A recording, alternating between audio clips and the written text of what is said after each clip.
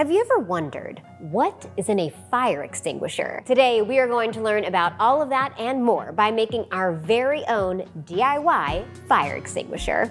Hi everyone, I'm Emily Calandrelli, MIT engineer and host of Emily's Wonder Lab, and on my channel, we learn about all things space and science. So grab your baking soda and your vinegar because we're about to fight some flames.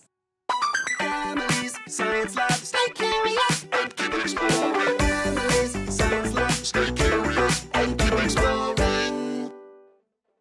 Fire extinguishers will have different things in them depending on what type of fire they are designed to fight. But many of them will hold carbon dioxide under pressure. And when you press down the handle, it releases a lot of that carbon dioxide at once. And here's the cool thing about carbon dioxide.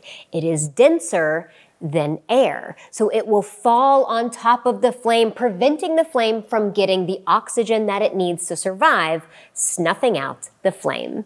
For this one, you need a quarter cup of vinegar, a quarter cup of baking soda, a glass, some candles, and a lighter. Adults and parents, because we are using a lighter, make sure we exercise caution here. Now, first, what you want to do is get your glass, and we are going to pour one quarter cup vinegar inside, just like so. And now we are going to put in a quarter cup of baking soda. What do you think will happen when we put our baking soda in the vinegar? Let's see. You might want to do this a little bit at a time. You'll see why in a second.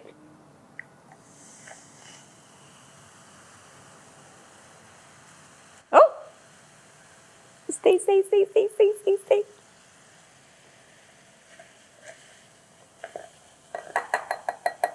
Now light your candles.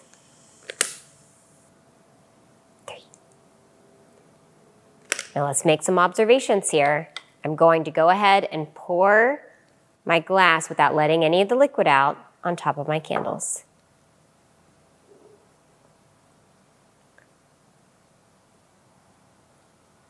Did you see what happened?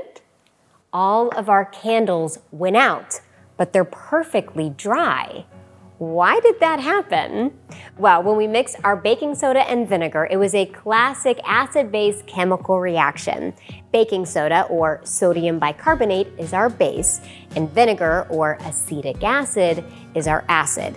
When you mix the two together, it creates carbon dioxide bubbles. Yes, the same stuff that is in fire extinguishers.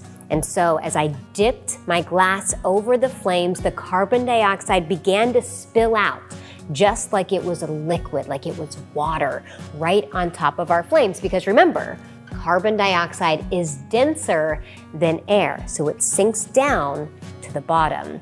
And it covered our flames, preventing our flames from getting the oxygen that they needed to survive.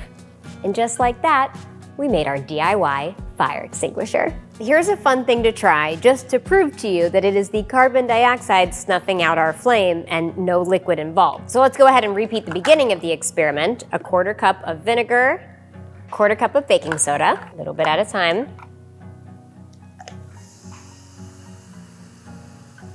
Those are our carbon dioxide bubbles. And remember, most of that carbon dioxide is staying in our glass because it's denser than air. Now, here's the extra step.